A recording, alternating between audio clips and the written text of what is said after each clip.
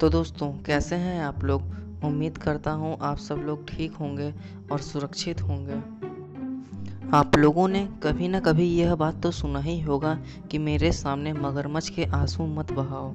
लेकिन ऐसा असल में लोग कहते किस लिए हैं? क्या मगरमच्छ सच में आँसू बहाते हैं?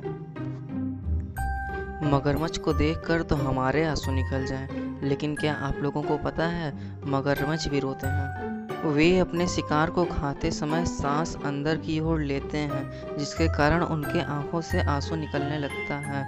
इसलिए हमें लगता है कि मगरमच्छ रोते हैं। तो दोस्तों, अगर आपको वीडियो अच्छी लगी हो तो वीडियो को लाइक करें, कमेंट करें और चैनल को सब्सक्राइब